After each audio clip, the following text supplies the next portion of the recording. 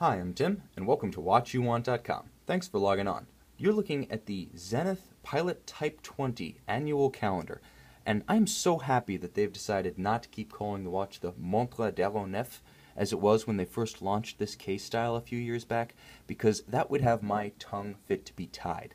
So, for the survival of my own poor pronunciation and the fluid progress of this video, we're just going to go with the current nomenclature. This is the Pilot Type 20 annual calendar based on the legendary Zenith El Primero chronograph movement. So this watch actually incorporates a lot of overlapping technical content that's really fascinating because almost each feature unfolds a different chapter in the history of horology. Let's start with the whole idea of the Zenith Pilot watch.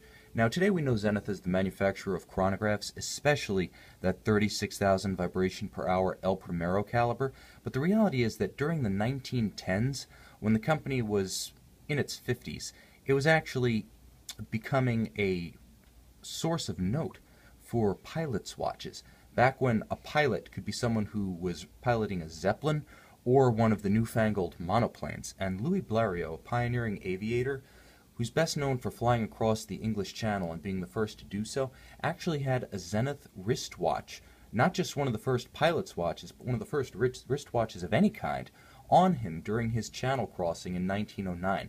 Now, he actually completed the channel crossing at about 45 miles an hour, which is, uh, I guess, the speed of like New York traffic on a good day. So it was an arduous task, and because it was such a risk at the time, because it was so pioneering, so daring, he almost got blown out to sea, out of the channel. That kind of immortalized the role of Zenith as a pilot's watch, and they continued to advance through the 1960s with the release of the chronometer grade 5011 caliber, which was reissued to kind of kick off the new series of vintage style Zenith pilot's watches a few years back. They've begun to expand on that 1960s caliber 5011 Montre d'Aéronef or Type 20 case in a new line of pilot-themed, now El Primero-powered chronographs. And what we have here is one of the great chronographs of modern times, the Zenith El Primero, 36,000 vibrations per hour. The cool thing about this is in 1969, Zenith effectively won the race against Japan's Seiko and a consortium of Hamilton, Buren, um, Breitling to develop a and, and Heuer to develop an automatic chronograph, and the El Primero was easily the most advanced of the movements that resulted.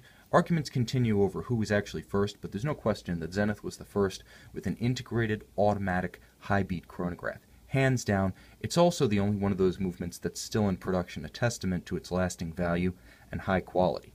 Now, the best thing about this watch is you get that historic El Primero movement, which is beloved of collectors and universally respected, and it features an annual calendar complication.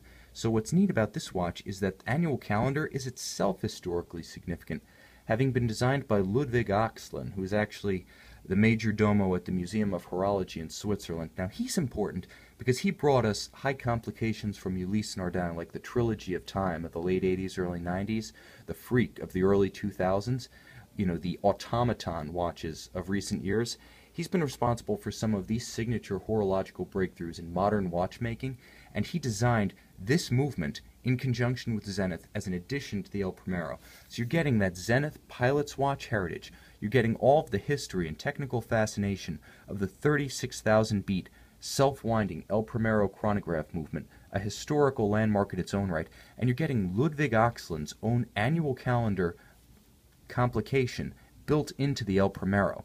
So this is not only one of the most horologically significant movements, the latest in a long line of celebrated Zenith pilot's watches, but you're getting something like a bespoke complication from one of the star watchmakers of the modern era. Ludwig Oechslin is a rock star. If he comes to your watch get together, you have arrived. Put photos on that, of that on Instagram, and you are guaranteed to be a superstar in your own right. This guy is a mover and a shaker, and what he designs is beautifully simple, not just beautiful in its functionality.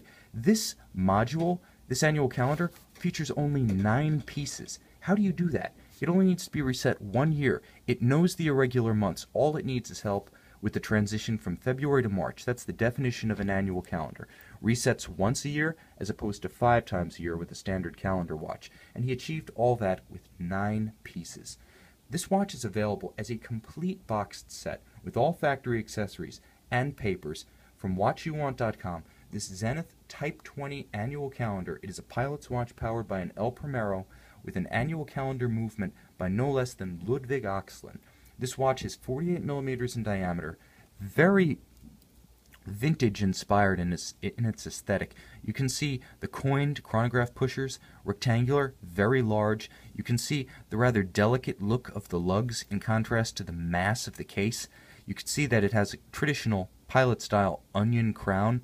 Again, this is true to the original Type 20 Montre d'Aéronef that was produced by Zenith.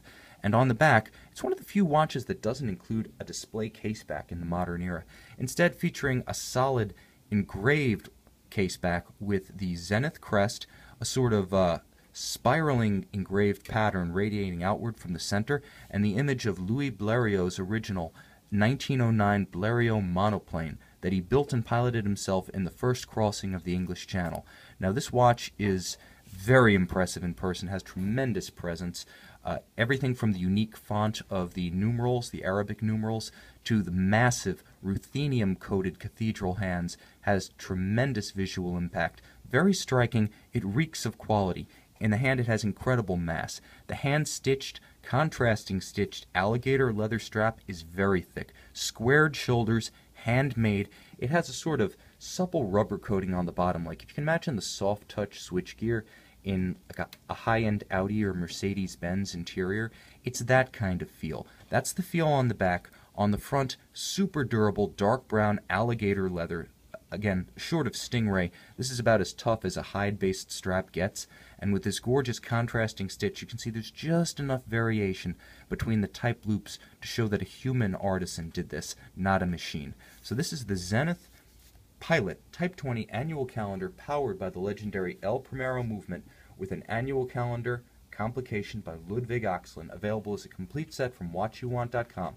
We are the authorities in luxury pre-owned watches. Check out this Zenith and our entire selection online. You just may find the watch you want.